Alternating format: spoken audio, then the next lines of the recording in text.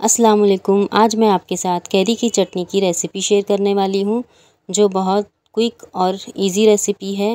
ये सिर्फ़ दो मिनट में बन के रेडी हो जाती है और ये बहुत चटपटी और लाजवाब सी कैरी की चटनी है। आप लोग इसे ज़रूर ट्राई करना और मुझे इसका फ़ीडबैक ज़रूर देना कि आपकी कैरी की चटनी कैसी बनी। तो चलिए, अब हम बनाना शुरू करते हैं। ये बड़ी साइज़ की मैंने कैरी ली थी, इसको छिलका उतार के इस तरह से पीसेस कर लिए थे। ये मैंने आधी गड्डी प्याज ली हूँ और चार पाँच कली लहसन, आधा चम्मच ज़ीरा, आधा चम्मच राई और एक अक्खी लाल मिर्च सूखी हुई और चार पाँच से छः कड़ी पत्ते के पत्ते, एक चम्मच लाल मिर्च और दो छुटकी हल्दी और आधा चम्मच नमक। कैरी को मैंने जो पीसेस करके रखे थे वो मिक्सी जार में डाल दिया है और इसके साथ मैं कांदा भी डाल दूँगी जो मैंने आधी गड्डी काट के रखे थे।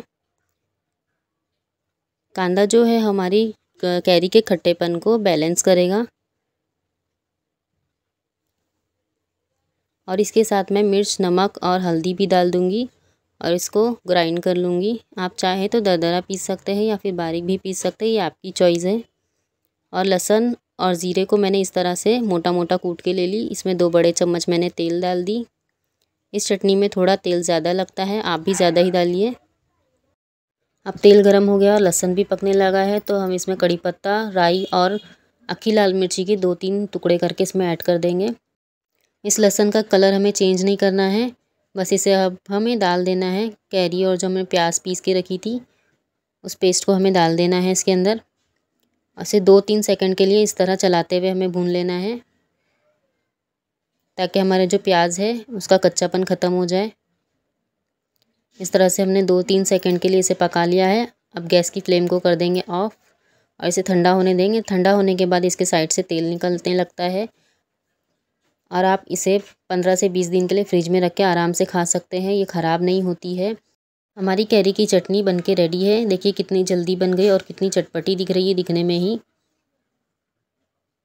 अब हम इसे सर्व करेंगे।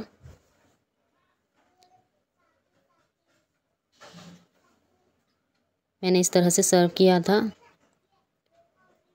ये बहुत टेस्टी बन के रेडी हुई थी और बहुत चटपटी थी। आप लोग ज़रूर ट्राई करना। आप इसे दाल चावल के साथ, रोटी के साथ, खिचड़ी के साथ और बहुत सारी स्नैक्स के साथ भी ट्राई कर सकते हैं। ये बहुत अच्छी लगती है। हर चीज़ के साथ ये परफेक्ट जाती है। अगर आपको रेसिपी अच्छी लगी है तो प्लीज़ मेरे चैनल को सब्सक्राइब करें लाइक करें एंड शेयर करें फ्रेंड्स एंड फैमिली के साथ। और बेल आइकन को दबाना ना भूलें ताकि आपको मेरी आने वाली वीडियोस की नोटिफिकेशन सबसे पहले मिल सके। मिलते हैं अगली वीडियो में, अगली रेसिपी के साथ, नई रेसिपी के साथ। अल्लाह हाफिज़।